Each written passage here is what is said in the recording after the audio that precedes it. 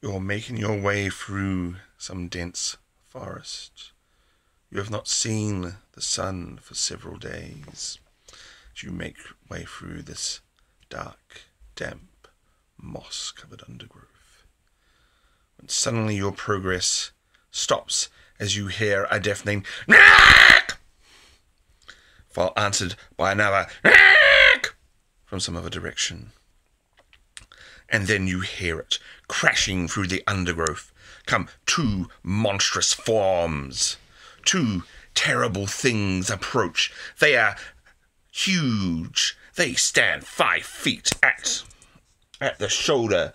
They are quadrupedal, massive, feathered, beaked things. And they are angry and they want to rip you apart. You have encountered two owlbears, and you are their prey. You might want to roll initiative right about now, because they're going to be on you next round. and they're going to rip into you with their claws and their beaks. And if you're fighting one of the early editions, then they might be able to get a hug on you. And that's not that's no laughing matter. A hug attack is when they hit with both both claws, and then they do extra damage because they are grappled you and they are squeezing your fairy life out of you. Owlbears are nasty. They were nasty in first edition, and they're still nasty in fifth edition. They're just big, angry, ill-tempered creatures. Think of something with the size and power of a large bear.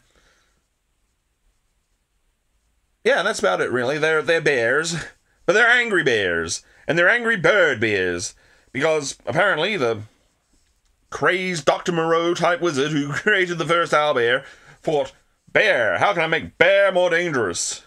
And being an insane wizard, he thought, "I know, I'll make it breed an owl or giant bird of prey." Thus, the owlbear was formed. Now, all that aside, owlbears are very typical D&D monsters. They are almost the quintessential D&D beast.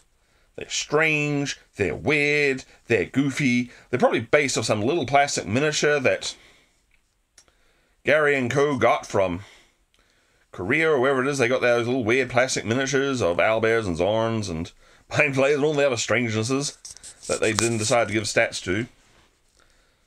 But it is over the years been that most D and D monsters. It looks strange, it looks odd, and yeah, it's just weird. It's one of those things, a weird monster of D and D. That's what an owlbear is. But if you want to put them in your game, you gotta give them at least some ecology, some motive for being there beyond well, they're on their account table, and I guess it says owlbear, so it's owlbears today. and what do you use them for? Oh, there's some there's some lore and some myths and some uh, that fluffy rubbish in there.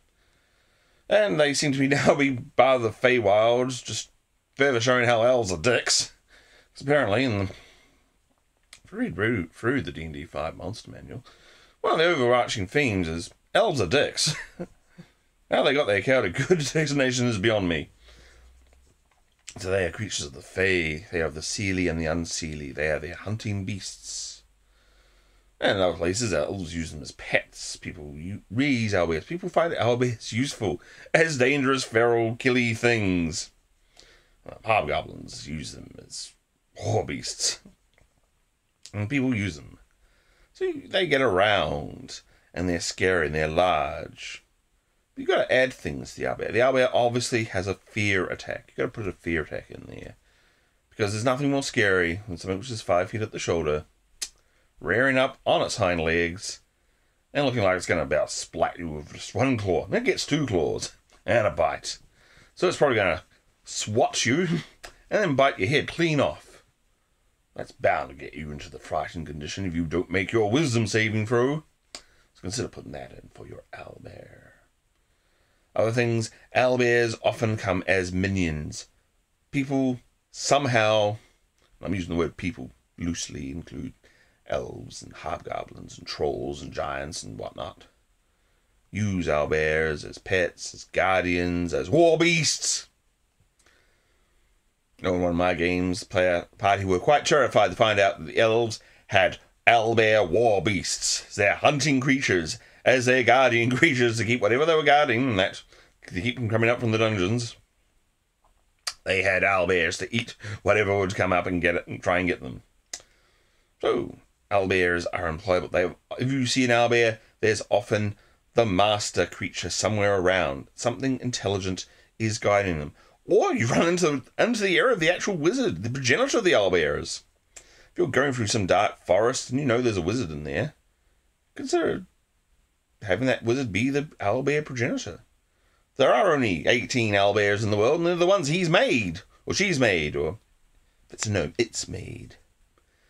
So, there's been a few thoughts on owlbears, that most D&D monsters, that crazy Dr. Moreau cro- cocaine wizard mashup monster.